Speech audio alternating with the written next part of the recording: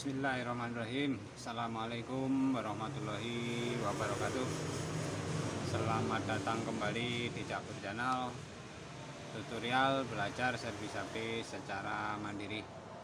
Semoga teman-teman dalam keadaan sehat walafiat. Dimudahkan semua urusannya Dan dilancarkan rezekinya. Amin. Untuk video kali ini di tangan saya ada HP Oppo Reno 4F kondisi terkunci. Sandi. Lupa sandi layar. Dan sekarang saya akan eh, hard reset tanpa menggunakan komputer. Jadi cuma menggunakan senam jari saja. Oke. Biar tidak panjang videonya langsung saja kita matikan dulu HP-nya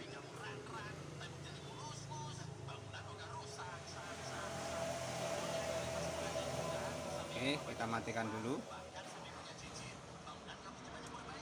Lalu kita tekan tombol power sama volume bawah secara bersamaan. Jadi teman-teman kalau punya HP kasusnya seperti ini HP Oppo Reno 4F terkunci layar dan lupa kata sandinya teman-teman bisa melakukannya seperti video ini. Tekan tombol power sama volume bawah secara bersamaan. Oke sekarang kita mulai.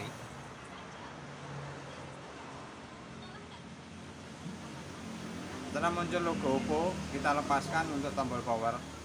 Tetap menekan tombol volume bawah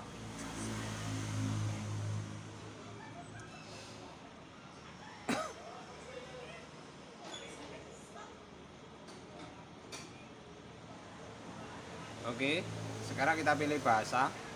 Kita pilih bahasa Inggris.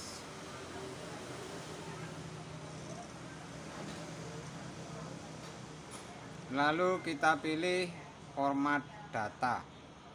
Oke. Kita pilih nomor 2, format data. Nah, teman-teman eh, di sini minta verifikasi kode jadi di sini udah dipersiapkan verifikasi kode. Yaitu di sini ini. Nah di sini ada kode verifikasi. Jadi kita tinggal memasukkan saja. Oke jadi kita masukkan kode yang ada di sini. Ini pasti ada setiap Oppo yang eh, terkunci itu pasti ada kode verifikasinya. Oke kita masukkan. 4160 oke sekarang kita klik format.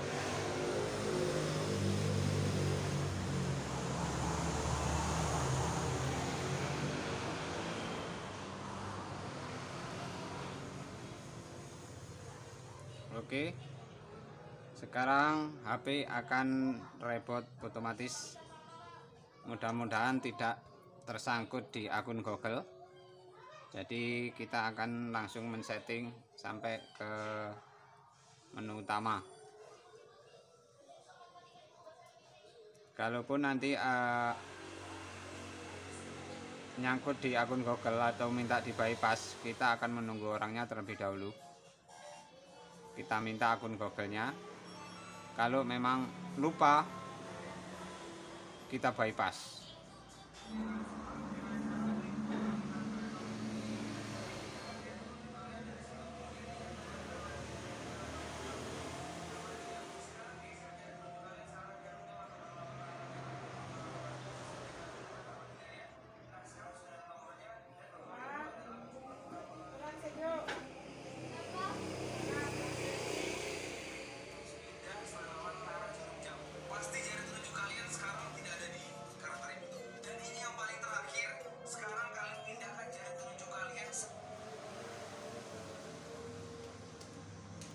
Oke sekarang kita akan men-setting. Kita pilih bahasa. Saya pilih bahasa Indonesia. Berikutnya kita pilih wilayah Indonesia. Lanjutkan. Kita checklist saya setuju. Oke kita lewati saja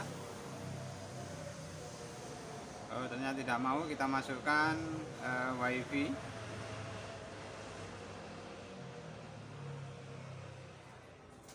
oke okay.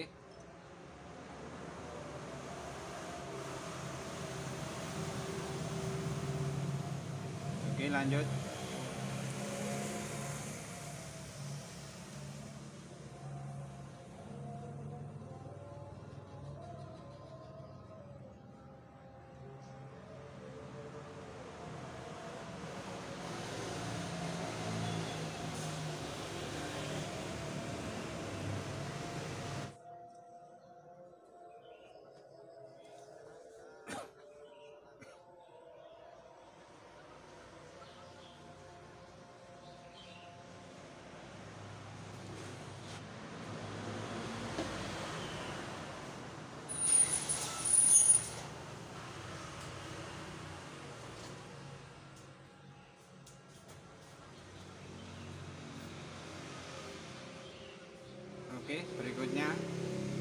Berikutnya lagi.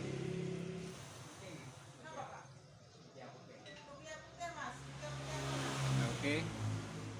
Lanjut.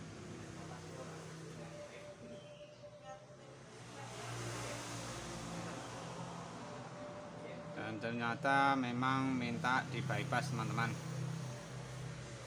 Ini suruh memasukkan kata sandi.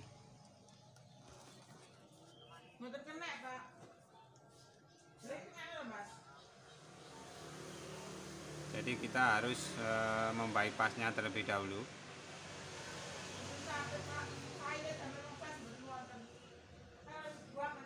Ini harus e, membuang akun Google-nya.